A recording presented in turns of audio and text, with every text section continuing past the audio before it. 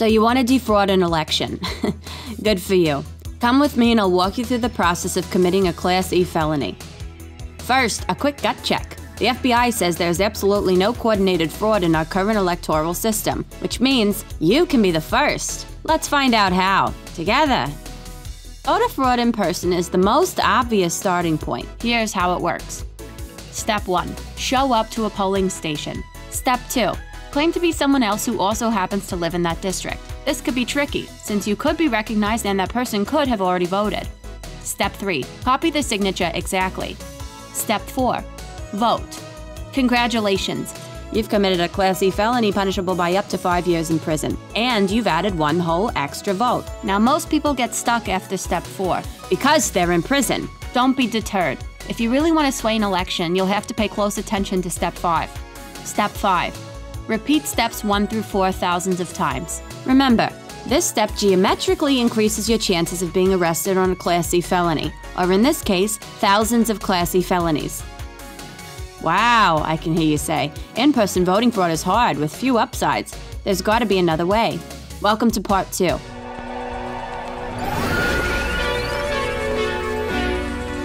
This election, you probably heard a bunch of yahoos barking about vote by mail fraud. And I bet you're asking yourself, can I get in on that action? Well, the short answer is no, because no one's ever done it successfully and gotten away with it. But you're a maverick, so let's break new ground. Together! Step 1 Figure out everyone who's voting by mail this year. Step 2 Steal tens of thousands of ballots. Now remember, there are two ways to do this.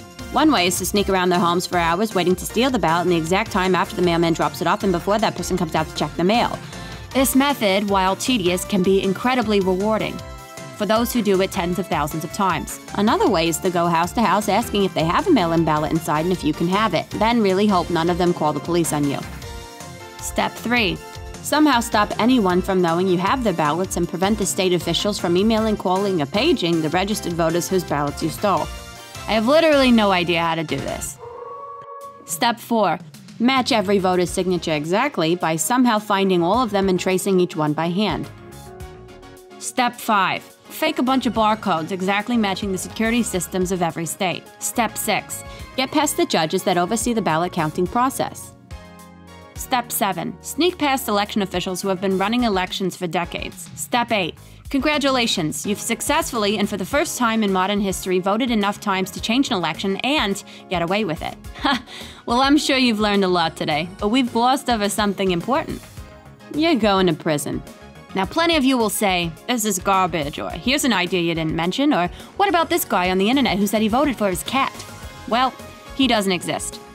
Someone who does exist is this man in Florida who applied for an extra mail in ballot for his recently deceased wife in order to, in his words, test the system.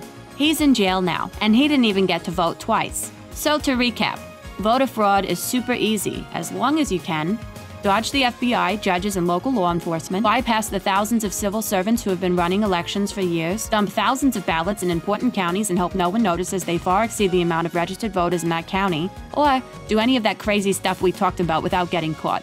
But don't let all this information deter you. Rise above, be the first, and enjoy your stay in prison.